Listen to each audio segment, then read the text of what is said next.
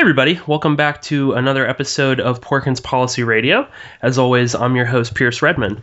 So today we have a very special guest all the way from South Texas. His name is Guillermo Jimenez. He is the founder and editor of tracesofreality.com, uh, where he has articles uh, and he does a podcast called Traces of Reality Radio. And he is also the host of uh, Demanufacturing Consent on Boiling Frogs Post. Guillermo, thank you so much for joining us. Hey, great to be here. Thanks for having me on the show, Pierce. Absolutely.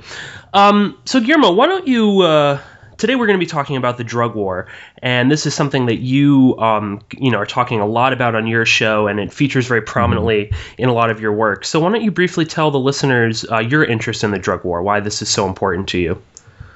Well, as you mentioned, you know, I'm from South Texas, and so I guess by virtue of my geography, it became an issue that just was uh, important uh, inherently to me. Um, I happen to live right along the border of the United States and Mexico in a town called Laredo, Texas. So, uh, just across the Rio Grande River is Nuevo Laredo, uh, Mexico, the home of Los Zetas drug cartel. And so, literally uh, two, three miles down the road from where I'm sitting right now is where you'll find um, the scene of those bodies that have been found uh, disemboweled and hung from bridges and uh, bloggers and people who were uh, reporting on the drug war. Uh, their bodies were found on, on that bridge, and it was at that point really that that it struck me. Um, this was about a year or two ago, and it struck me because the the public here in this town in, in Laredo have become so accustomed to this level of violence and and to the the reportage of it that they they hardly bat an eye mm. to to that kind of brutality uh, these days. And so I, I, took a great interest in that from a psychological perspective, from a sociological perspective. And then I, I wanted to learn more about the drug war itself. Uh, on a global scale, on a local scale, uh, the, the major players, how it really works. And uh, I've come to you know, interview a, a, number of different people and, and learn a great deal in the last year about the drug war. And so, as you mentioned, yeah, I do talk about it quite a bit on on both of my podcasts and on the the website. It's become something that I think. Uh, you know, as I've said before, if you look at the the, the glo- global political uh, landscape, if you really want to know what's going on behind the scenes, so to speak, uh, the knowledge of the global drug trade and, and the so-called war on drugs, I think, is essential. Uh, through my research, I found it to be at the center of this very, very tangled web of, of geopolitics. oh, absolutely. I think people don't understand the how the magnitude of the drug war right now, how it is mm. linked to every single aspect of of uh, our you know of our laws, the border, immigration, right. uh, spying on people. It's become so much a part of the American state, uh, you know, as it is right now.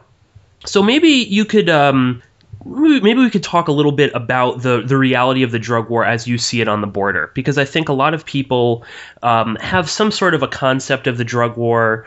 Uh, you know, they see it. Uh, you know, if you live in a big urban city like I do, you definitely see it. You know, drug dealing on streets and things like that. But I think people have a they're, they're not totally aware of the reality of the border and you know Mexico is so close to us, and you see this firsthand. And uh, you know you've been talking a lot on your show about these constitution-free zones, right. the increased militarization of the police force and actual you know military uh, forces there as well, and immigration. But I'd be curious to see you know to have you talk a little bit about these constitution-free zones because ultimately you know they might say it's for this or that, but in the mm-hmm. end, it is about drugs. It's about finding drugs. Indeed, and, and and to my mind, in the end, it really it's about uh, a system of control. Uh, drugs are really just the, the, the, pretense. But you're absolutely right to, to, point out that this is something that I've tried to point out to people on, on the program in the past is that those of us who care about civil liberties and the loss of that liberty over time um, have to realize that before there was a war on terror, there was a war on drugs. And that really is the root of the current uh, militarization of not just the border, but our, uh, of the country as a whole, of local police departments uh, uh militarizing their local police forces, uh, gaining all kinds of fancy police state gadgets, you know, the, L, the LRAD weapons and so forth that we've mm. all come to, to know. Uh, that's all because of the drug war. Excuse me. And uh, you know we've uh, the, the, these no-knock warrants, the SWAT teams. I mean, you can go on and on and list all the various ways that police forces uh, resemble more uh, resemble more military forces these days than than do police anymore. Oh yeah, and and that and that's and that's because of the drug war. And so we see it everywhere. But I think you, you you're right to point out that uh, it is much more vivid, I think, along the border uh, within these so-called constitution-free zones. You have an area of the country, and this is really key, uh, a uh, hundred air miles from any border along the United States. The con, and no, I was going to say continental, but really it includes Alaska and Hawaii as well. Mm. Uh, any border within 100 air miles. So that includes not just the southern border with Mexico, the northern border with Canada, and the eastern and western coasts. Uh, you can draw a hundred, uh, you know, a line across the country, around the country of, of hundred air miles, and you find that it include it, it sort of that encompasses um, almost every major city in the United States. It's yeah. it's something like 190 million people live within that zone. It's it's nuts. And that so, would be that would be New York, Los Angeles, exactly. any Chicago, maybe even any exactly. any major Chicago. city in, in, Texas that includes Houston, a big, big city. It includes, uh, well, Laredo, which is not so big, but it does include uh, basically every major city in this country. And so um, the potential is there to see the, the, the sort of checkpoints that we see along the southern border in uh, in other places in, in major cities. And, and, in fact, I've been reading reports lately of the same sort of checkpoints that exist uh, just north of where I live. Um, I, have seen reports of them uh, up in Maine, up in uh, New York State, and so they're they're everywhere now. And and but but yeah, when you when you look this sort of stuff up, uh, and you can, I mean, I the, the, audience listening can can check this out on YouTube. I'm sure, just like YouTube uh, checkpoint refusal videos, and you'll get a, a couple thousand hits, maybe maybe more. Uh, one of them is a video that I shot uh, a, a, little over a year ago. Oh yeah, uh, yeah. We'll definitely include that in the show notes for this. I think that was yeah. Fantastic. And so I just I just point that out to people just to, to have them realize that hey, this stuff exists. And there's I, it, it, I'm surprised still that there are people uh, in in the interior of the country that that see videos like that and are and are genuinely shocked and have no idea that these checkpoints even exist. Um, and so for that reason, I think it's important to kind of point that out and say, yeah, yeah, it's true. When, whenever you travel uh, in any direction from a border town, you answer questions from federal agents. You play this little game with them. Um, uh, and sort of audition for your freedom to be allowed to, to proceed down the road. It's kind of nuts, but I mean, it's more than just that. I mean, checkpoints are, are one part of it, but it's also uh, just if you live in a city like Laredo, it's it's very very normal uh, to see FBI, DHS, ICE, uh, Border Patrol, just you know anywhere about the city. Uh, it's very normal to have to answer questions when you travel. If you you know poll, like uh, this happened in a local news story. I don't know if you saw this, Pierce, but there was a local news story that came out of Laredo that did a piece on that video I just mentioned, and uh, and they polled like uh, a number of, of, of students at the local university, and every single one of them said, "What is this guy doing? It's totally normal. You're supposed to just answer mm. questions when you travel." And and and and they're right. It is normal if you live on the border. It's it's just completely accepted, which is remarkable to me. So I I do like to kind of share that with uh, the audience that may not be familiar with to kind of get the message out. And and this is something that uh, has been going on for years. I mean, am I correct in that? It's not it's not a yeah. recent thing with these checkpoints. This has been a reality on the border for many many years. Yeah, exactly. That's a common misconception. I, I you know, a couple of um, reports were done recently about the constitution-free zones, and which I kind of took issue with only because you know I appreciate the the um, the sort of uh, awareness of it growing, but uh, there were folks out there citing a, an article from 2008 saying, "Oh, this is when it all started. Back in 2008, is when it all started," uh, and that was really uh, not correct. What the what what changed in 2008 was basically the Border Patrol updated their policy to include uh, electronics like laptops and cell phones and things like this that uh, items that can be searched at the border, at the actual port of, port of entry, and at these checkpoints.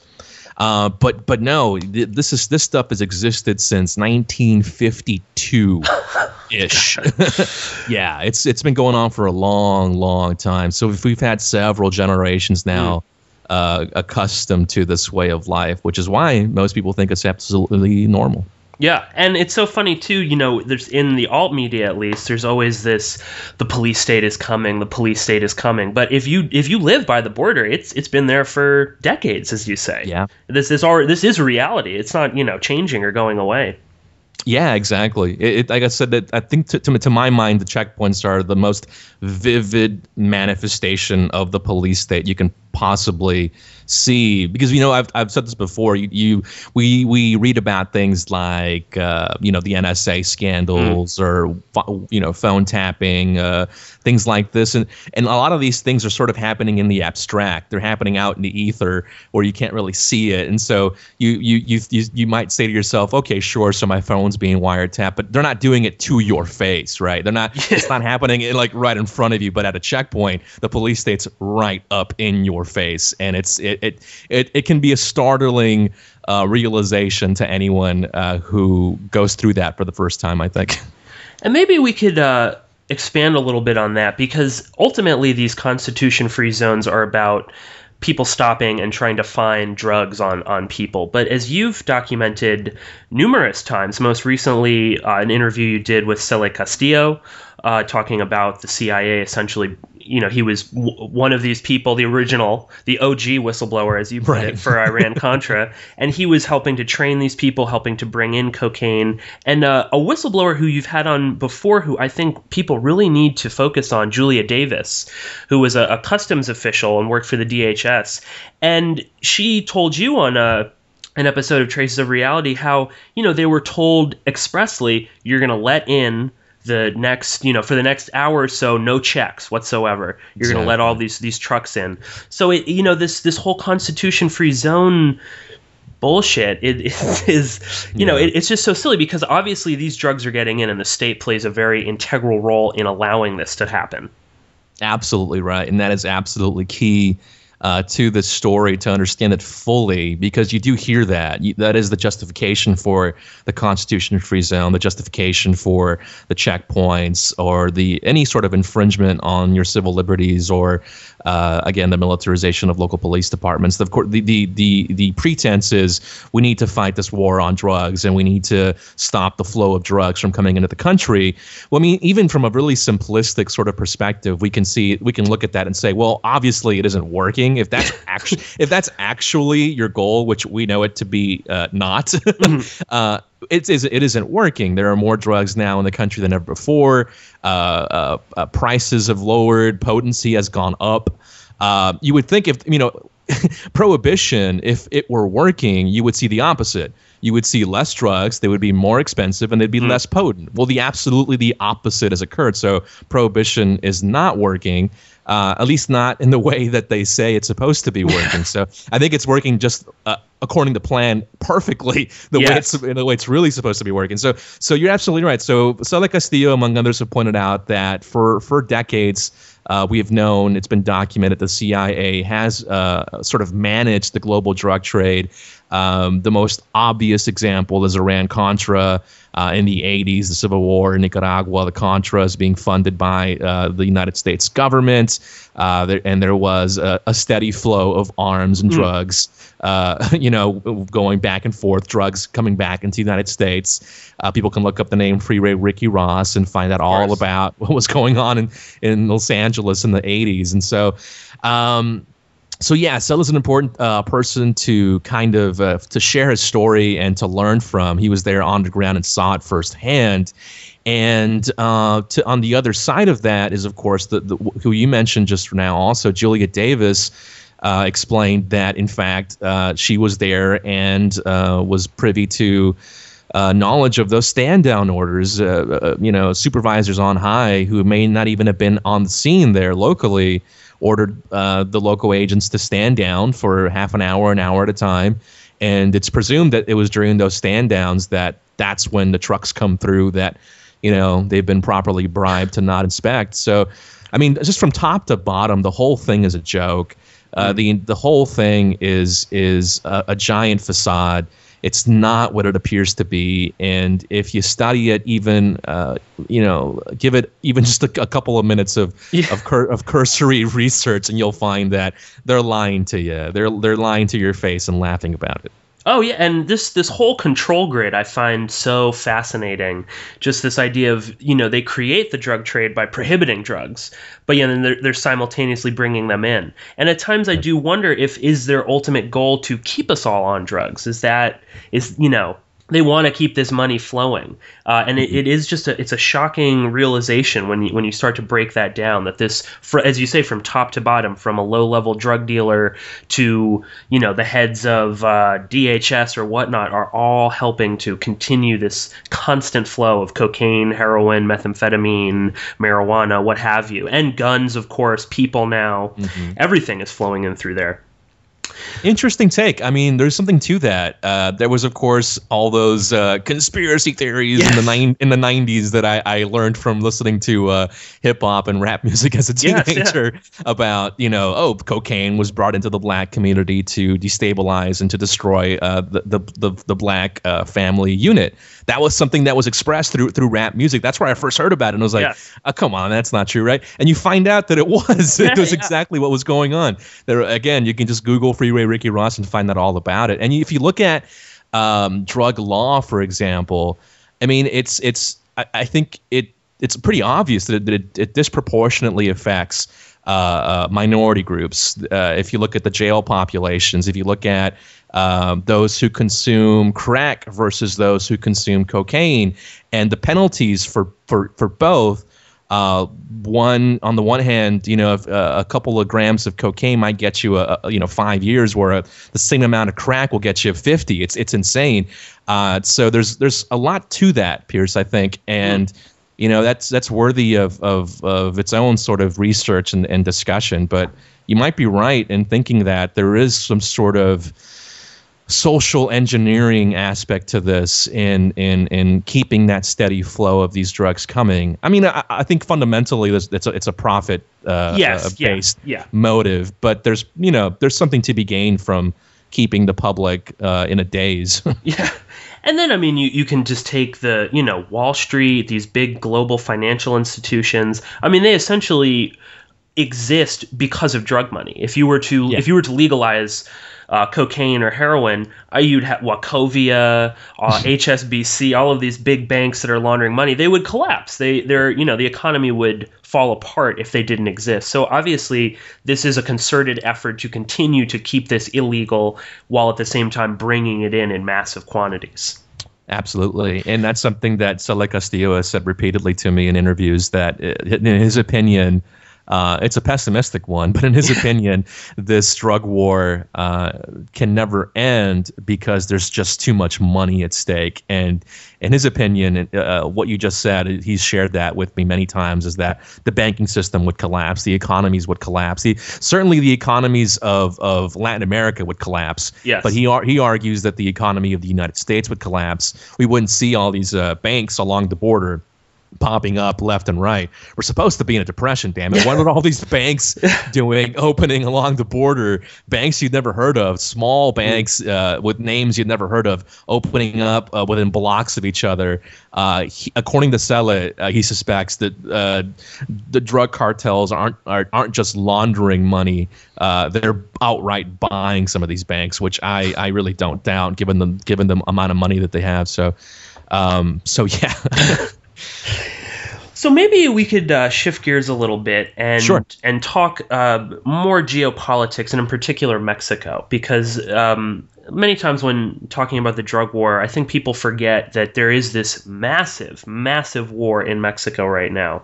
You know, estimates now 100,000 dead, uh, increased militarization. You've got U.S. Special Forces, CIA running around doing things. So maybe we could talk a little bit about uh, the the situation, how we've arrived at this situation, and particularly uh, in the early 2000s when the the government of Mexico switched from the PRI party, which had ruled Mexico, I believe, since the 30s, on and on. Yeah. You know, mm-hmm. they called it the perfect little dictatorship, and this switched over to the the PAN party, which is a, sort of a center right party, and in this, they, you know, they arrest El Chapo, who is the, the head of the Sinaloa cartel, and then he mysteriously walks out of prison And for all intensive purposes, we have Vicente Fox initiating this war on the cartels. But maybe you could tell the listeners, uh, you know, this is not quite how it seems in reality. Right. So yeah, I think you you've summed up the history quite well. And um, you know, uh, beginning in really in 2007 when you see the escalation of the drug war in Mexico under Calderon, and uh, I mean it's it's been it's been uh, speculated, but with evidence uh, that the the Mexican government has for for for a long time, and this is really isn't even speculation. There's documented evidence to to to show that uh, Mexican officials and, and, high up in the government have been uh, in league with these cartels for for for a very very long time. In fact, uh, Mr. Bill Conroy of Narco News, I, I quote him frequently just because I really like the way he he phrased it, and I I struggle to find a better way to phrase it myself. Uh, the way he sees Mexico, uh, he he's told me repeatedly that you know there are no cartels. Sort of wipe that from your mind. That doesn't exist. What it what exists are uh, factions of the Mexican government itself vying for control. And so when you look at it that way, you, you see Mexico is divided into states, but they're not states in the ways that that that you or I would sort of recognize states in the United States. They're they're divided into states depending on which cartel controls that territory. I mean, it is it is a narco state. Mexico is at this point. It is completely mm-hmm. run uh, by by drug money, and you know it's it's. I mean, just recently, you can I'll, I'll point your listeners to an article that I actually just came across uh, yesterday, and I believe it just broke yesterday, November 6, 2013. It's it's just out of the National Security Archive. Oh yes, just, yeah, just, you, see that? Yeah, yeah. yeah. The San Fernando massacre. So, um, and this is it's what oddly enough, you know, it it it it, it in this article, it says that you know we have new evidence linking the Zetas to the Kaibiles. The Kaibiles, uh, the elite Guatemalan special forces, the death squads in Guatemala, and I I forget that that's not really common knowledge. Yes. You know, I talk about that so often, and I guess I'm so insulated in, in talking to people who sort of speak on these issues that I forget that that's still classified. That's not really out in the open yet. But and these but, were people we trained, correct? Exa- exactly. Yeah, this was uh, U.S. trained special forces going back again to Iran Contra in Guatemala. This is where the the Los Zetas come out of are uh, these trained uh, killers that the U.S. helped to train uh, out of the out of the Kaibiles. Those are Los Zetas. Also, uh, they were all were also recruited out of uh, La GAFE, which was Mexican special forces, also trained by the United States. Um, so that's where the Zetas come from. And so, I mean, that's a really uh, uh, the most, I think, again, vivid link to the connections to the U.S. government. But there's long since been connections to the the Mexican government. In fact, going back to the 80s, if you look at Mexico's, I think it was called the Federal Security Agency. Only you have to translate that into Spanish to mm. find to actually look it up. Uh, but it was the Federal Security Agency was suspected. The DEA suspected the federal that that agency of being basically a front for the CIA.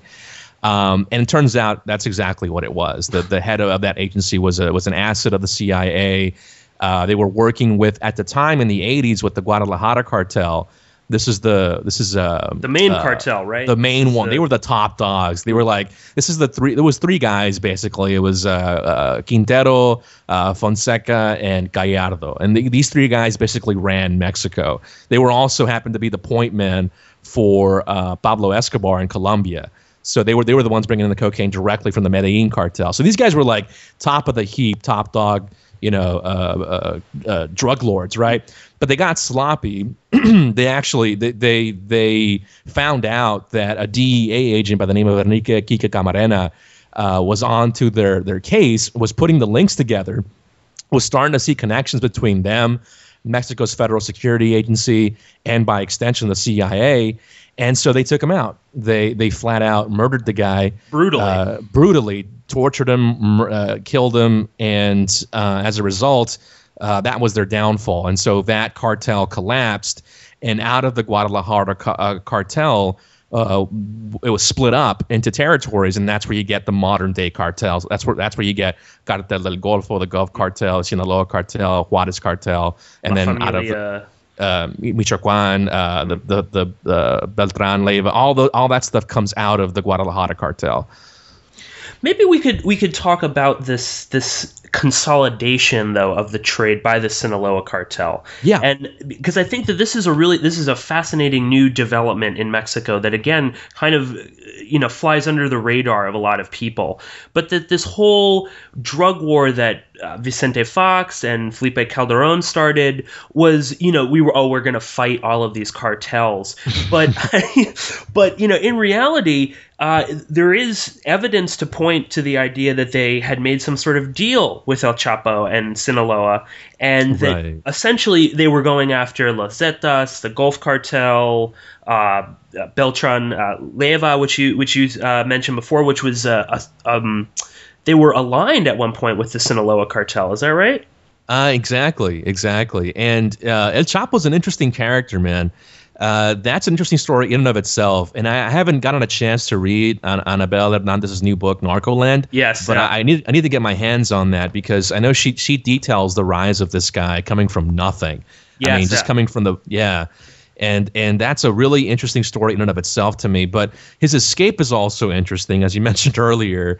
Uh, you know, he was whisked away uh, in, uh, I, I, believe he was put into some kind of a like official government uniform. Yes, uh, yes. with the with the assistance of uh, officials who were in on the take uh, somehow, and and he that's the way he escaped prison. Uh, but yeah, there's plenty of evidence to suggest the fact that when when Mexico goes out, uh, you know, when their when their forces go out and and, and they and they target uh, these cartels, uh, they only seem to be fighting one side of it. Sinaloa always seems to kind of escape unscathed. Uh, and there have been, you know, direct accusations by, oh, what's his name? I think his last name was Zambada, uh, who was he was on, in trial in Chicago, uh, who was a part of the Sinaloa cartel and uh, he outright said this is this is back when when Fast and Furious was in the news, right? When it was like sort of like peaking. Yeah, yeah, yeah. And uh, he sort of just outright said that yeah, not, not that wasn't an accident. I mean, yeah, they were purposely they're funding us. We're we're getting arms, we're getting uh, weapons and money uh, from the U.S. government. That's that's what we're doing, and so uh, that's been put forth, and there's evidence to suggest that that is very true. That there are efforts being made to con- sort of consolidate power and consolidate uh, into one giant. Uh, the way Ben Swann put it was one giant super cartel mm. in the form of of, of Sinaloa. Uh, which I mean, again, there's evidence to support that. Um, I, I, I, I'm, I'm persuaded by that, but on, on, on the other side of that, I, I also see the points that someone like a Douglas Valentine has put out there.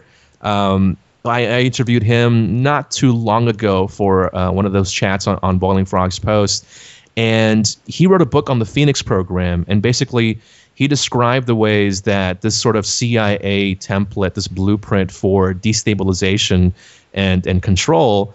Uh, began in Vietnam and how that sort of transitioned into Central America during Iran Contra and all that stuff uh, and those death squads and how that it was called the Phoenix program then it was called the Salvadorian option in, Central America and that sort of just transitioned right into Iraq also mm. same sort of blueprint but the way he described it to me and it made sense was really it's just a, a, a plan to destabilize and to corrupt the local government of whatever country becomes the the target for for the United States. And so in the case of Mexico, uh, they've been thoroughly corrupted, thoroughly destabilized to the point where they rely entirely on the United States. They're kept, you know, right under that imperialistic thumb. And that sort of, if you look at it again from a sort of geopolitical perspective, that makes sense because that's the sort of the same sort of template that we see now. Uh, again, in, in a, we saw it in Afghanistan, we saw it in Iraq, uh, we're seeing it now uh, in the Caucasus. You see it all over the place. The same the same template. Uh, and again, as, as we sort of o- we open the show this way, but just to go back to that point that if you if when if you look at that and you look at the center of what's happening, the drug trade plays a, a key role uh, always. And um, that's how that they fund. That's how they fund the exactly. CIA. That's how they fund these these covert wars. Uh, Black Op. Yeah, yeah. Sibel Edmonds has, has right, repeatedly exactly. talked about NATO. Essentially, is funded by heroin. Exactly. that that's yeah. how they that's how they get by. Absolutely. So I think that's what happened to Mexico. That's I think that's what's going on with Mexico now. Um, I think that perhaps for maybe not political reasons, but perhaps because Sinaloa is the best funded at the moment. They're able to to buy most of these uh, officials and politicians, and perhaps that's why they've become the favored cartel. Mm. Um, but I, I, don't know if it's for any any other reason besides that, besides money. I, I can't think of maybe any. Uh, I haven't read anything anyway about any sort of political reasons why uh, Chapo would be favored over anybody else. I, I see it more as just they, they have the funds and the the infrastructure to be that super cartel. Yeah. Oh, I, I, I was listening to an interview with Annabelle Hernandez, and she describes El Chapo as a nobody. You know, he's yeah. like nothing. He he mm. can barely read and write. He left school when he was like seven years old. Right. Uh, and he's really, you know, he's just one man. That's just, you know, exactly. They're well funded, so they, they you know, they'll go with him. And I think that a lot of the, these uh, cartel wars are cyclical. You know, will you'll like Escobar sort of asserting, yes, the Medellin cartel, we are going to be the most powerful and the infighting. But then eventually, you know, you get these other ones that are going to pop up again at some point. You know, there's always there's so much money to be made. Uh, it's impossible to think that yeah. Sinaloa will somehow completely Absolutely. take you know take over and we see this happening now you know nature does not like a vacuum. So if you topple if you topple one head like we've seen right now with z40 uh, the, the, the leader of los zetas was captured. The leader of the gulf cartel x20 was captured. Well what's going to happen? Clearly there's going to be infighting uh, to sort of take that position. And, and, and what happens as a result of that? Well more violence uh, so it, it comes as no surprise that we've seen uh, just recently um, uh, an escalation in violence in Mexico in those territories because there are people vying for that spot. So that's just what's going to happen. So that I mean to your point of the cyclical nature of it, I think that's absolutely true. What, uh, Guillermo? What is your take on this uh, switch from the PAN party to the PRI party? Because as I as I view it, I see it as sort of a you know the, the the drug war became so closely associated with Calderon and his government, and yeah. there there was a lot of reporting about you know all of these cabinet officials that he you know under his party and their connections with various drug drug cartels. But how do you view this sort of switch to the PRI-party, which, as you said before, I mean for decades was supporting all of these these cartels? Yeah, and this is the thing. I, I honestly, it's to my mind, I don't really see much of of a difference. I, mm. I I've seen the same sort of. I mean, it's kind of like the Republicans and the Democrats yes. in this country at this point. You know what I mean? It's not really. They're both uh, parties are corruptible, uh, and both parties ha- have been corrupted. Um, I guess it's because the the PRI party has such a long history of being linked to the drug war and to uh, drug money and the cartels because they were in power for so long um, that then that's why they have that sort of association uh, with it. But the, yeah, you're right. There was a lot of talk that once the PRI came back into power with this guy uh, Peña Nieto, that we were going to see a return to the old days of Mexico, where you know we would see business as usual, basically, uh, but with less violence. They would we, we would we would see the uh, the the sort of uh, drug war de-escalate um, and go back to the way things were because you know, there's always been this. There's all there have always been, as we just illustrated, you know, going back to at least the 80s. Uh, it's always been this way, but there wasn't this. Uh, same level of violence then. There weren't the sort of kidnappings and the beheadings and all kinds of crazy madness that we see these days. That didn't happen in Mexico uh, t- even 10, 15 years ago. That really started uh, with the modern day drug war, uh, again escalating in 2007, and then when the Zetas broke off from the Gulf cartel, that's when you really started to see, you know, just I mean, just all kinds of uh, of, of just crazy violence. Um, and so I guess there was that. There, there, there. I did hear some of that from from uh, from some of the, the, the, the, things that I follow uh, media in Mexico that there was an expectation of a return to to the old days in Mexico under the PRI uh, maybe some kind of uh, uh, alliance made, uh, which there probably is with Chapo to to go after the the rival drug cartels and basically exterminate them and go back to the way things used to be. But um, that but doesn't yeah, really a, seem to be the case, though. I mean, it's no, not as if violence has stopped. I mean, it's it hasn't, still it hasn't at all. It's yeah. still escalating. Absolutely. What what do you have any take on this? Cele Castillo in, in in the interview you just did on demanufacturing consent, which everyone should go and listen to. Uh, he he mentioned this this you know that the U.S. owns Mexico. That that Mexico doesn't really do anything without the U.S. say so. So you know is is this this this whole war on the cartels? Do you do you think there's any credence to the idea that the U.S. wanted to initiate this? That this is part of a grand scheme to completely destabilize the country and essentially create this massive narco state? It's possible. It's hard to. It's hard to. I mean, that'd be speculation on our yeah. part, but but but it, it, I think it's possible. Um, there's certainly again there's there's evidence to support that theory given given this country's history with through the CIA as, as we just mentioned a short while ago uh, and what happened in Vietnam, what happened in Iraq, what happened in Central America. Um, it would seem that the same is playing out in Mexico, the same sort of template.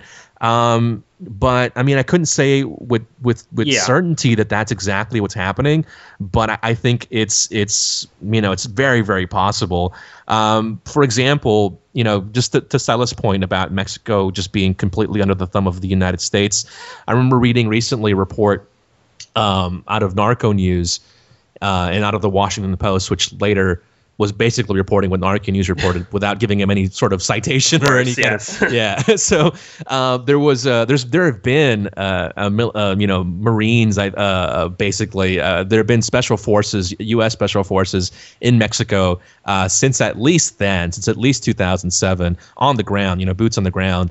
Um, and the report out of the Washington Post, uh, I think it was Dana Priest that wrote this one, and I don't have it right in front of me, so I couldn't cite it uh, verbatim, but it was something to the effect that that um, within the last year there were uh, plans in the works to send uh, more troops, and that uh, Mexico just now found out about it. In, in, other words, the U.S. was doing this and putting boots on the ground, and, and the the Mexican government was only now just learning about it and, and, and sort of giving the, the okay retroactively.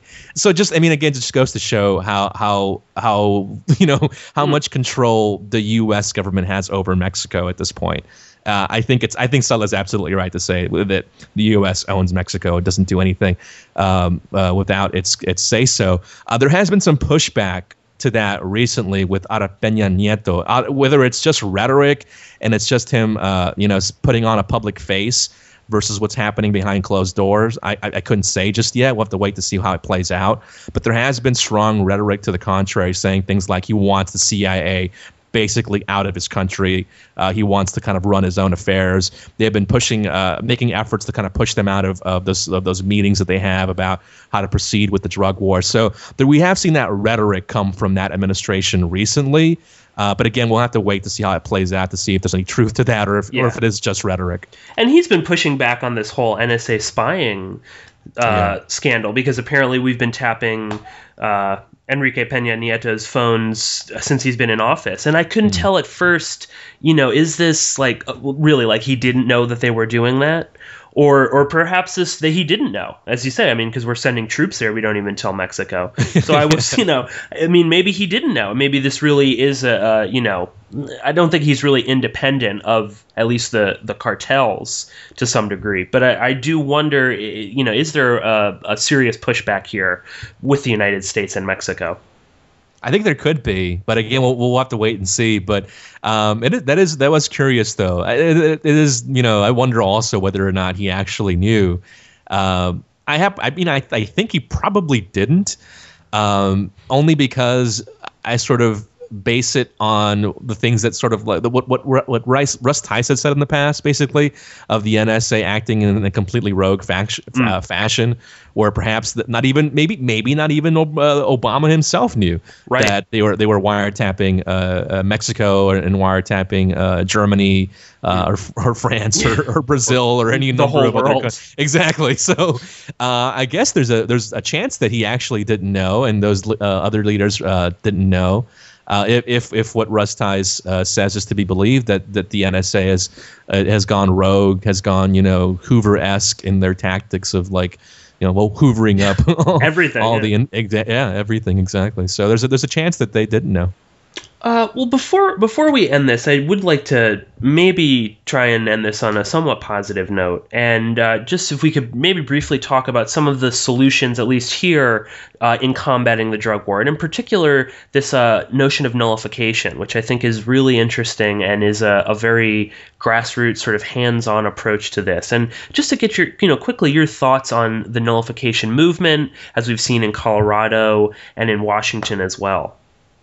I think that actually is the best way to approach this. And I think nullification is the best way to approach uh, many of the sort of issues that we want to tackle on a local front. Um, uh, just recently, also, you, you probably caught this uh, as well, but in, uh, in elections just a couple days ago, uh, Portland, Maine uh, legalized marijuana in oh. their city. Uh, three cities in Michigan uh, also legalized marijuana. So we see this trend continuing. This sort of uh, nullification. They're not calling it a nullification. Yeah. they may they may not even know what that means exactly, but that's exactly what's happening in effect. They are they are in effect nullifying the federal law by passing these local uh, ordinances. Um, and I, I, do see this trend continuing. And I've I've talked to friends about this, and we we uh, differ often on whether or not this is a good thing. I happen to think it's a good thing. Uh, there's an all there's an all sort of a, a competing uh, theory or way of thinking. Um, whereas you know if we, we see this uh, this the sort of federal government uh, or local state governments begin to regulate and to uh, tax marijuana, for example, there is uh, a concern out there among uh, libertarians or among uh, mm. people who consider themselves to be, uh, you know, you know, free thinking or you know want to live outside the state, for example, or something like that. Uh, there is that concern that uh, regulation and taxation may not be the best sort of alternative. Uh, for example, there were concerns initially when when medical marijuana was passed in California and now in, in I think 20 other states at this point. Um, that concern of being and yet uh, another database. Having yeah. to go and sign up and register for that card means you're going to have to be put into a database of a, of a known uh, marijuana user. Now you might say, well, what's the harm in that? What, what, you know, so what? Okay, I get to get my, I get my little, you know, uh, you know, free pass to, to smoke up with my little marijuana card. Uh, that's a good thing, right? Well, you know, uh, it, it can you know we, we think of it this way. I think of it this way. And this is a conversation i was having just uh, just yesterday actually which is still why it's fresh on my mind this sort of the debate is that i guess there's a potential for uh, perhaps the DEA or the NSA, and uh, more probably more the DEA, looking at a, a database like that, right, and data mining it, uh, and uh, under the assumption that if you are a marijuana user, then perhaps you are more likely to be a cocaine user mm-hmm. or a heroin user or just a someone who would or just break the law in general. So they might they might uh, single you out by being on that database. They might single you out and investigate you further for other sorts of crimes. And I, I guess there's a potential for that uh, that exists. Uh, but I, I I think I really got off subject from your original no, question. No, no, I mean, no, no. I mean that that is perfect because I I kind of go back and forth with the. I I really do like the the concept of nullification. I think that it is a a great peaceful way to go about things, but I do flip back and forth, especially when you know lately in the media we've got all of these you know like Sanjay Gupta and mm. you know Kofi Annan, all of these kind of nefarious characters coming out in favor of marijuana legalization. And I do wonder, is there an agenda behind this? Is this they're sort of catching up with the times, or is there mm. something else? And I just saw uh, recently yesterday that in Colorado this tax that they're having on mar- marijuana now, where it's where it's become legalized, is going to be a huge, enormous yeah, tax. It's like fifteen percent. Yeah, it, yeah, I mean, way more. That is not like taxing liquor or, or yeah. cigarettes or anything like that. And all of that revenue is going. They're going to build some schools, but then the rest of it is going into law enforcement, right. which to me is just sort of backwards. And you know yes, perhaps police aren't going to be, you know, arresting you for drugs, but I mean, they're still a repressive force here in America. Uh, so right. it, it, it, does kind of. Uh, I don't know. I, I can't really tell uh, how it is, and I think that that's sort of part of the the problem is that the you know the the war on drugs the drug trade is so massive and huge that it's not yeah. you can't really snap your fingers and everything is okay again Yeah, no, and there is a real danger uh, to that, and that's a that's a legitimate concern, I think. And I, I struggle with this myself because you know what's the alternative i mean obviously the current system obviously is is is not a good one mm. and I, I wish not to live in uh, this sort of society where where drugs are uh, like marijuana specifically but all drugs really uh, prohibition in general uh, where prohibition exists uh, just from a fundamental from a liberty sort of perspective um, that's where I come at it. There, there are so many different reasons to be against prohibition, but uh, to my mind, fundamentally, it is a liberty issue. It is a question of whether or not some entity uh, like the state has the authority over you, the sovereign individual, to tell you what you cannot and cannot do with your own body. It comes down to that for me. However, um, I don't know that the current uh, method that we're sort of uh, going down, the sort of road we're going down, is the best one. Um, there, there may be a better one that we haven't quite uh, thought of yet. But I will say this though: if uh, it shouldn't end with marijuana legalization, we should. Those people who are sort of advocating for for legalization of marijuana, I really hope that once that happens, because I think it will, um, that they continue to push for an end uh, uh to prohibition completely because the, I mean the, the drug war won't go away with just the legalization of marijuana. Uh, the militarized police won't go away. The, the the checkpoints won't go away. You know everything we talked about earlier. None of that will go away uh, unless we completely end prohibition, and I mean everything. But the problem with that is that most of the advocacy groups that we see today um, that are anti-drug war are strictly pro marijuana. Yeah. There's no there's no NORML for cocaine. You know what I mean? Right. Yeah, so yeah. you won't see that. That's not uh, PC yet. Mm-hmm. So, um, but I, you know there are people working towards this. I mean, uh, uh, for example, LEAP, uh, uh, Law Enforcement Against Prohibition, the guy I talked to not too long ago, Peter Christ. That's his main point, and that's I, I did uh, appreciate that from him is that he is against prohibition entirely, and he that's a point that he often often uh, stresses is that we can't stop with just marijuana or nothing's going to change.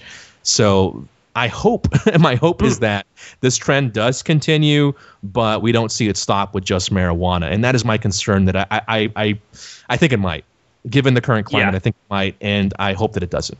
I think it would just it would take so so long because it's only now that that even talking about legalizing marijuana has become okay right. in, in mainstream press. So I, it it very well might sort of end there. And and then furthermore too, if if you're taxing marijuana at 15%, no one's going to buy it. And then they're you know you're simply just going to allow for uh, a market to open up where you're going to have cheap illegal marijuana. So mm. I, I'm not I'm I'm sort of still on the fence about that as well. But anyway, Guillermo, thank you so much for coming onto the show. It's been a real pleasure talking to you and an honor as well. I've been a huge fan of your work. And uh, before we sign off, why don't you please tell the listeners where they can read more of your stuff and listen to your podcast as well? Yeah, absolutely. And again, thank you, Pierce, for having me on the show. I appreciate it very much and appreciate the kind words. Uh, absolutely. Um, yeah, so folks can check out my website, tracesofreality.com. Uh, right now, I'm producing a weekly podcast called Traces of Reality Radio, which you guys can subscribe for uh, free via RSS feed or iTunes, or perhaps we'll add a couple other methods soon. But you can check out uh, everything that I do on that website. I also link from that site over to boilingfrogspost.com, where, as you mentioned earlier, I do a weekly podcast for Sibel Edmonds and the gang uh, called Demanufacturing Consent. So uh, both of those are available.